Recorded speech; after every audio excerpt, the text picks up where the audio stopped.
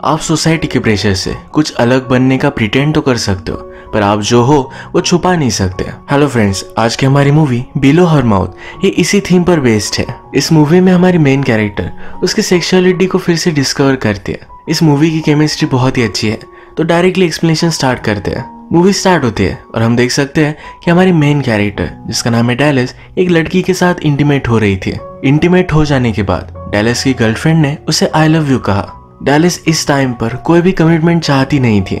उसने सोचा तो था कि अपनी गर्लफ्रेंड के साथ उसे सीरियस होना चाहिए, पर उसने अपना माइंड चेंज कर लिया। यही पर वो उससे ब्रेकअप कर कर वहाँ से चली जाती है। डैलस एक्चुअल में एक रूफर है, यानी कि लोगों के रूफ वगैरह रिपेयर करने का काम वो करती है। एक दिन ऐसे वो काम कर रही थी, और उसने जासमिन को नोटिस किया। जासमिन हमारी और एक मेन कैरेक्टर है। डैलस के साथ जो आदमी थे वो ऊपर से ही जासमीन को छेड़ रहे थे। जासमीन ने इन्हें नोटिस किया और वो घर में चली गई। रात में जब जासमीन अपने बॉयफ्रेंड के साथ थी तो उसका बॉयफ्रेंड थक कर सो गया था। वो नेल पॉलिश लगा रही थी और उसे बोर हो रहा था। वो ये नेल पॉलिश अपने बॉयफ्रेंड को लगाने लगती है। उसके ऊपर चढ़कर वो उसे जगा देती है। वो इंटीमेट होना चाहती थी और उसके बॉयफ्रेंड को किसी काम से बाहर जाना था। वो अपने नेल्स पर जब नेल पॉलिश नोटिस करता है तो बहुत ही गुस्सा हो जाता है। नेक्स्ट सीन में हम देखते हैं कि आज ही डेलस का ब्रेकअप हुआ है तो बहुत ही अपसेट थी। उसके एक फ्रेंड उसके घर पर आई और ये दोनों मिलकर आज क्लब जाने वाले हैं। यही पैरेलल में हम देखते हैं कि जाजमीन का बॉयफ्रेंड इसी काम के लिए दो तीन दिनों के लिए बाहर जा रहा है। ये दोनों एक बहुत ही सीरियस रिलेशनशिप में है। अब शादी भी करने वाले हैं। जाजमीन आज अकेली थी तो उसके एक फ्रेंड उसे कंपनी देने के लिए आ गए। नेक्स्ट सीन में हम देखते हैं डैलस और उसके फ्रेंड ये दोनों एक पार्टी में आ गए। यहाँ की जो बार टेंडर थी डैलस के फ्रेंड को बहुत ही पसंद थी। वो कहती है आज रात मैं इसे घर पर लेकर जाऊँगी। डैलस ने कहा कि वो मुझे लाइक करती है।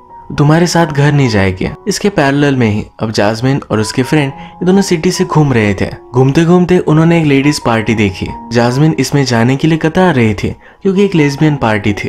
पर उसकी फ्रेंड उसे ले जाती है। पार्टी में जब जासमिन वॉशरूम में गई तो उसे डैलस मिली। उससे कहती है कि तुम मुझे जानी पहचानी लगती हो। बाद में उसने रियलाइज़ किया कि डैलस रूफटॉप पर काम कर रही थी। डैलस उसे पूछती है, क्या तुम हमेशा इस पार्टियों में आया करते हो? यानी कि वो पूछ रही थी क्या वो लेस्बियन है? जाजमिन स्ट्रेट है तो इसके लिए उसने मना कर दिया। डैलस कहती है, ये तो बहुत ही बुरा हुआ। इस पार्टी में जाजमिन को सही नहीं लग रहा था तो जरा एयर के लिए वो बाहर आ गई। उसके पीछे पीछे डैलस भी आती है। डैलस ने अब जाजमिन के हाथ में रिंग नोटिस की। ये देखकर अपनी सिंपति वो जताती है। जाजमिन कहती है कि इतना बुरा भी नहीं है। वो बहुत दिनों से रिलेशनशिप में थी और वो शादी करेगी। जैसे कि हमें पता है कि डैलस रिलेशनशिप जरा सीरियस होने से डरती है तो उसे पूछती है कि तुम्हारी रिलेशनशिप का एक्सपीरियंस कैसा है? जासमिन कहती कि ठीक ही है। मेरे बॉयफ्रेंड को हमेशा इंटरेस्टेड रखती हूँ। डैलस ने कन्फेस किया किसी के साथ भी इंटीमेसी दिखाओ इतनी इमोशनल नहीं हूँ। उसके पास आ गई कहती है कि शायद तुम्हारे साथ कुछ अलग होगा। उसे वो किस कर लेती है। जासमिन भी उसे किस करने लग? गए उसने रियलाइज़ किया, ये सब गलत है।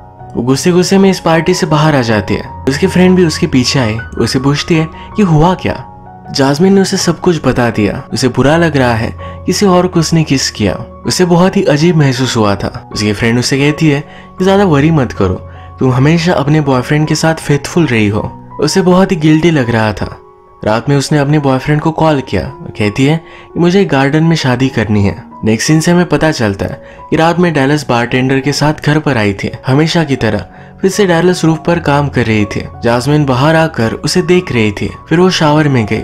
डैलस को इमेजिन कर कर वो अपने आप को प्लीज़ करती है। अगले सीन में जासमिन अपने काम पर जा रही थी। डैलस उससे पूछती है तुम काम क्या करते हो? उसने कहा कि मैं एक फ़ैशन मैगजीन में काम करती हूँ। डैलस ने पूछा, क्या तुम्हारी खुद की कंपनी है? कहती कि नहीं? डैलस कहती है कि मैं जो काम करती हूँ, ये मेरी खुद की कंपनी है। वो उसे अपना डोमिनेंस दिखा रही थी। फिर वो उसके पास आकर कहती है, यहाँ काम करने का आज मेरा लास्ट डे है।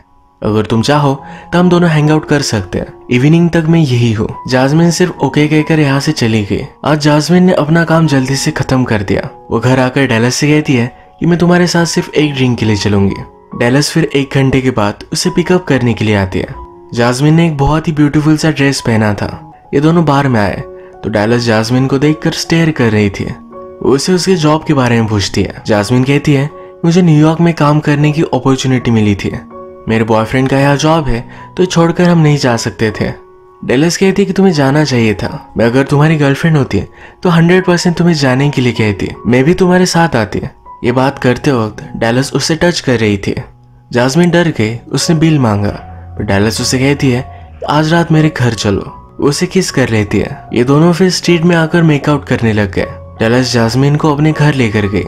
ये दोनों इंटीमेट हो जाते हैं। सुबह होने पर जासमिन को डैलस का चाइल्डहुड फ़ोटो मिला, जिसमें डैलस ने बॉय के कपड़े पहने हुए थे। इस पर डैलस कहती है, पर मेरी मदर मुझे कहा करती थी अगर मैं बॉयज़ की तरह ड्रेसअप करूँगी तो मैं हर्ट हो जाऊँगी। वो चाहती थी कि उसकी मदर उसे एक्सेप्ट करे पर कभी उसने किया नहीं। ये दोनों डिसाइड करते हैं कि आज का दिन एक दूसरे के साथ स्पेंड करेंगे। डैलस जासमिन से कहती है कि मैं जनरली मेरे पास के बारे में बात नहीं करती, पर तुमसे मुझे कुछ भी छुपाना नहीं है।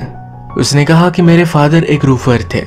मेरी मदर नहीं चाहती थी कि मैं भी उनकी तरह काम करूँ मुझे बचपन से बहुत अच्छा लगता था। उसकी मदर ने उसे यूनिवर्सिटी में भी भेजा था, पर वो मानी नहीं।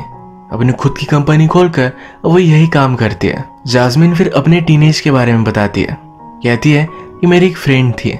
एक समर में हम दोनों एक दूसरे के बहुत ही पास आ गए थे।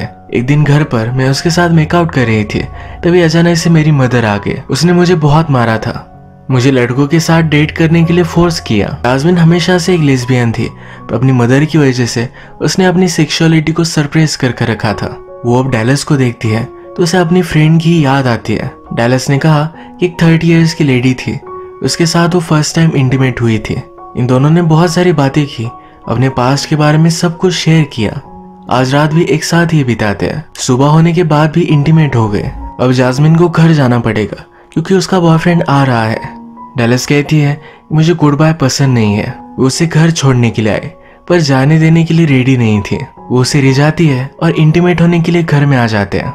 पैरेलल में हम देखते हैं कि जाजमिन का बॉयफ्रेंड आज जल्दी घर पहुँचने वाला है। जाजमिन और डेलस एक दूसरे में डूब चुके थे। तभी जाजमिन के बॉयफ्रेंड ने इन दोनों को देख लिया।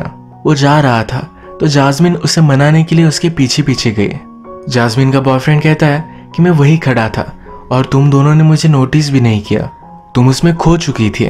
जासमिन कहती कि प्लीज़ मुझे माफ़ कर दो। हमारी रिलेशनशिप जैसे पहली थी, उसे रिपेयर करने के लिए मैं कुछ भी कर सकती हूँ। उसका बॉयफ्रेंड कहता है कि अभी के अभी जाओ, और डेलस से ब्रेकअप करके आओ। वो फिर डेलस के पास आकर उसे कहती है कि मैं ब्रेकअप करना नहीं चाहती और उसे करना पड़ेगा। वो इस एंगेजमेंट को तोड़ नहीं सकती। ये दोनों बहुत ही हर्ट थे, पर इन्होंने ब्रेकअप कर लिया।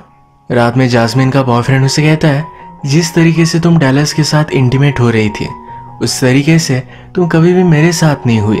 इस ब्रेकअप की वजह से डैलस भी बहुत ही डिस्टर्ब थी। वो एक बार में आई और बहुत ही ज़्यादा ड्रंक हो गए ड्रंक होकर ही अपनी एक्स गर्लफ्रेंड के पास पहुँच गए उसके साथ वो इंटीमेट हो जाती है, सुबह होने पर। डैलस ने जो भी किया उसे बुरा लगता है। वो अपनी एक्स गर्लफ्रेंड से कहती है, तुम मुझसे बहुत प्यार करते हो, पर उतना ही प्यार मैं तुमसे नहीं करती।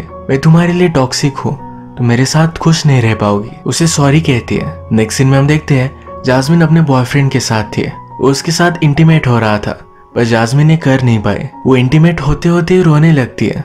उसने रियलाइज़ किया कि वो डैलस को ही पसंद करती है। नेक्स्ट सीन में हम देखते हैं कि डैलस और जासमिन ये एक पार्क में मिले हैं। जासमिन उसे कहती है कि मैंने मेरे फ्रेंड्स को सबको तुम्हारे बारे में बता दिया, यानी कि अब उसने अपने आप को इम्ब्रेस किया है। डेलस भी सुनकर खुश थी और ये दोनों अब एक साथ है।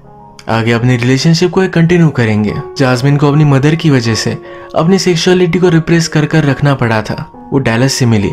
डेलस भी बहुत ही इमोशनली स्कार्ड थी। वो जासमिन को बहुत ही लाइक करती थी तो उसके साथ उसने कुछ भी सीक्रेट्स नहीं रखे।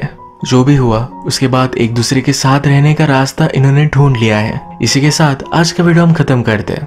अगर आपको वीडियो अच्छा लगा तो प्लीज़ इस वीडियो को लाइक कर दीजिएगा। मैं बहुत सारी मूवीज़ लेकर आते रहता हूँ तो प्लीज़ इस चैनल को सब्सक्राइब कर दीजिए। बेल नोटिफिकेशन आइकॉन दबाना मत भूलिएगा।